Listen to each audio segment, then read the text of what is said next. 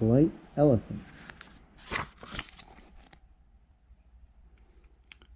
Everyone likes a polite elephant. He knows the right things to say and do.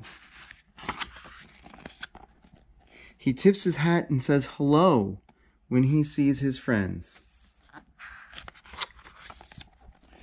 When the polite elephant waits for the bus, he takes his place in line. He never pushes or shoves. Sometimes the bus is crowded. The polite elephant always offers his seat to someone who might need it more than he does. Sometimes the polite elephant goes visiting. When someone comes to the door, he tips his hat and says, Hello, Mrs. Smith. How are you? The polite elephant is a good guest. He knows that some rooms are for sitting and others are for playing.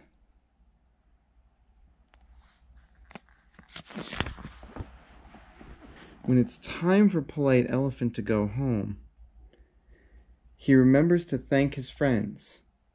Thank you, he says. I had a nice time.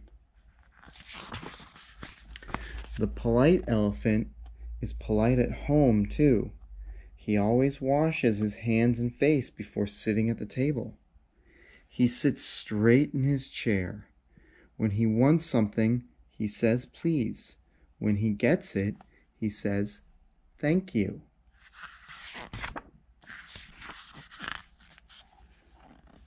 Sometimes the polite elephant's friends come to his house. He greets them at the door. Hello, Please come in, he says. He introduces them to his mother.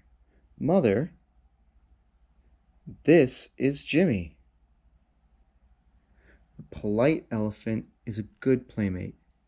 He shares his toys with his friends, and he is very careful when he plays with someone else's toys.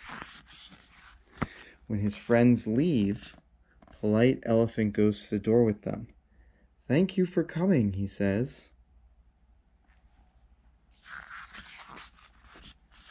The polite elephant always tries to help others in every way he can.